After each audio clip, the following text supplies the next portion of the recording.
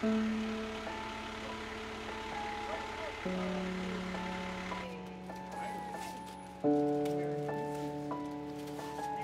we pull up and Santa goes up to the front door, the kids standing there. I mean, the look in their eyes, it's, it's absolutely amazing.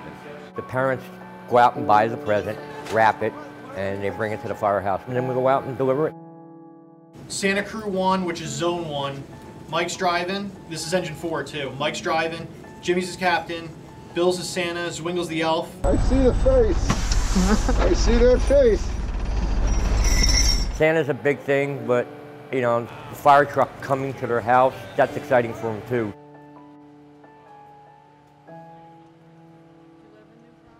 A couple neighboring towns to the west of us that did it, and I talked to them over the past couple of years, and last year was the first year we decided to do it, and we plan to continue doing it. It's for Aiden?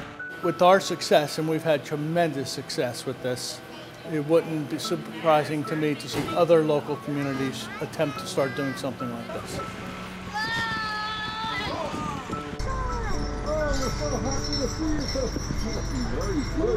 It's not about religion with uh, Santa, at least in my eyes.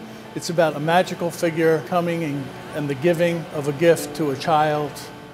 Just getting out in the community and, and letting uh, town people know that we're not just here to fight fires, we're here for the community.